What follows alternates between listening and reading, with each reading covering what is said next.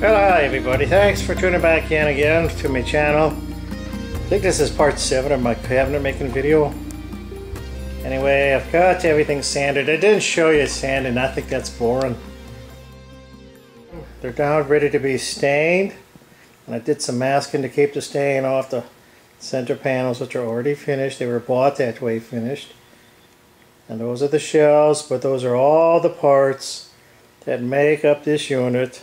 The back, the front, the two sides, the interior separators, and the shelves. So I'm going to go ahead and stain them today. Maybe next weekend we'll put them together.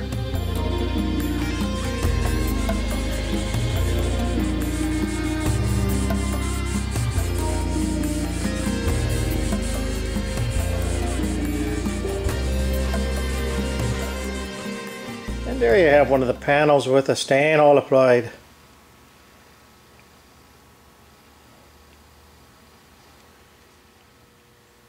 And I still got a couple of more, so let me get to it.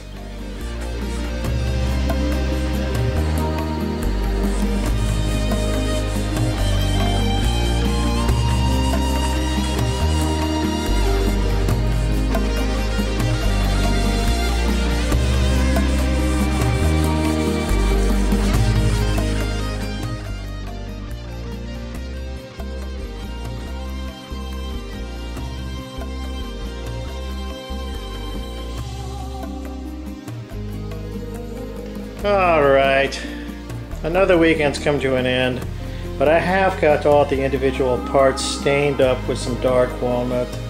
Next weekend, it's going to be put it all together, and probably the weekend after that, we'll be spraying it with some clear satin finish.